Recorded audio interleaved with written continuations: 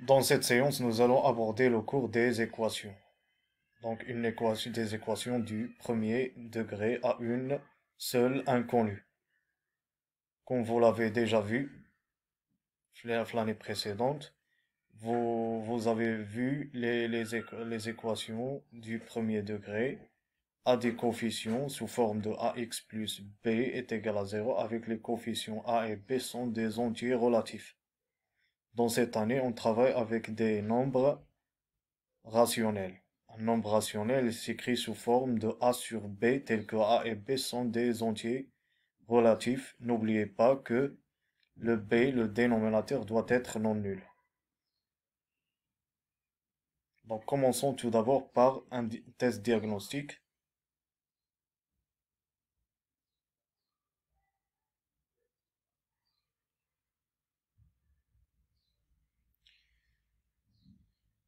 Donc, première question. Pour x est égal à moins 1, la valeur de l'expression 2x moins 3, est-ce qu'elle est égale à moins 4, ou moins 1, ou moins 5 Pour la deuxième question, l'opposé de 5 fois x est égal 5 sur x, ou x sur 5, ou moins 5x. Troisième question, l'opposé de 4 moins 5x est est-ce qu'elle est égale à 4 plus 5x, moins 4 moins 5x, moins 4 plus 5x Question numéro 3. L'équation x sur 2 est égale à 4 a pour solution 4 moins 2 ou 2 ou 8. Passons à la quatrième question. L'expression simplifiée de 3x moins x, est-ce qu'elle est égale à 2x, 3 fois x au carré, ou 3 Dans l'équation, 3x moins 1 est égal à 2x plus 10. Le facteur ou l'expression 2x plus 3 plus 10 est appelé deuxième facteur, premier, premier membre, deuxième membre. Donc cette expression l'équation.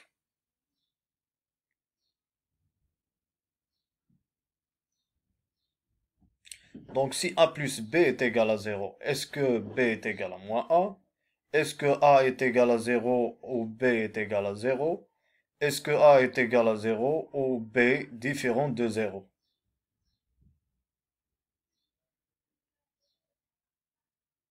question suivante. Une équation du premier degré à une inconnue. Est-ce qu'il est sous forme 2x moins 5 fois y est égal à 0 5x moins 1 est égal à 0 x au carré moins 3 est égal à 0. Passons à la question suivante. Moins 2 n'est pas solution de quelle équation Est-ce que de cette équation qui est 2x plus 4 est égal à 0 ou 7 fois x moins 1 est égal à moins 15 ou l'équation x moins 1 est égal à 5 fois x plus 3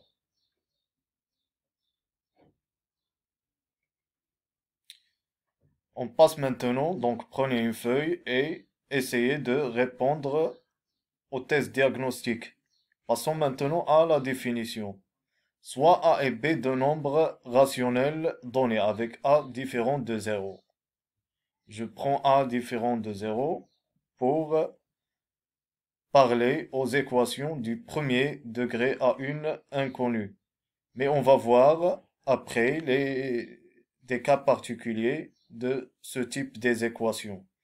Donc, une équation, généralement, est une égalité qui contient une inconnue ou plusieurs inconnues. Donc, une équation de la forme ax plus b est égale à 0 est appelée une équation du premier degré à une inconnue. Donc, l'inconnu est le nombre et le x.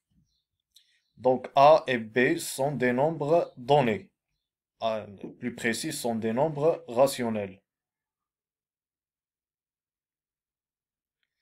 Donc vous voyez dans ce diagramme une explication ou une déjonction des cas.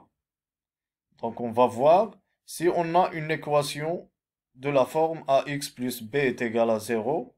Donc ça équivaut à ax est égal à moins b. Donc euh, je retranche le b les deux côtés de l'équation a dit. Et je trouve ax est égal à moins b. Et maintenant, je fais la disjonction des cas. Donc si le a est égal à 0, deuxième cas si le a différent de 0. On parle maintenant si a est égal à 0.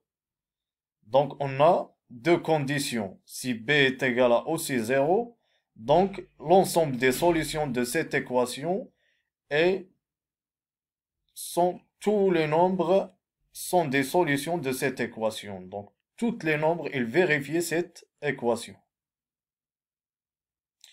Si le b différent de 0, ça veut dire, prenons par exemple b est égal à 7.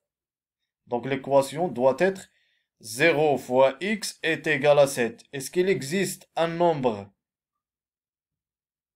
x que je multiplie par 0 et il donne 7 Donc le nombre n'existe pas. Donc l'équation n'admet pas de solution.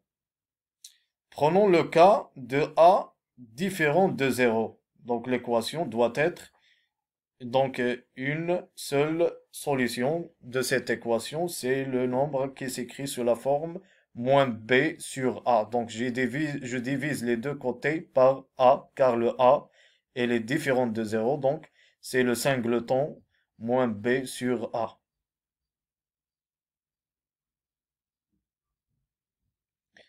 Un exemple, prenons ces trois équations et essayons de donner la résolution de chaque équation.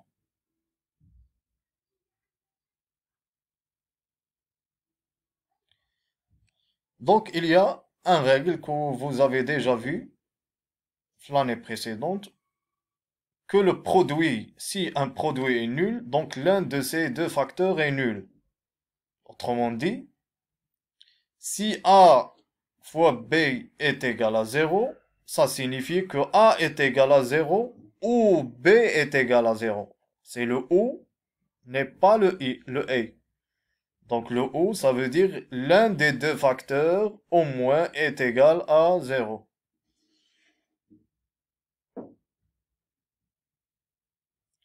On passe maintenant au type des équations sous forme de ax plus b fois cx plus d est égal à 0. Passons maintenant aux équations de type ax plus b fois cx plus d est égal à 0. Donc ce n'est pas une équation du premier degré, mais on peut déduire des équations du premier degré par l'utilisation de la règle précédente. Donc soit a et b et c et d des nombres rationnels donnés. Donc le produit ax plus b fois cx plus d est égal à 0 signifie que soit ax plus b est égal à 0 ou cx plus d est égal à 0.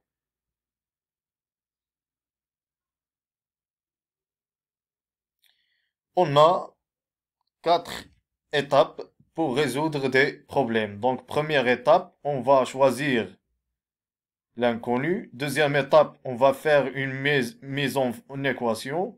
Troisième étape, c'est la résolution de l'équation. Quatrième, la dernière étape, c'est la vérification et l'interprétation des résultats.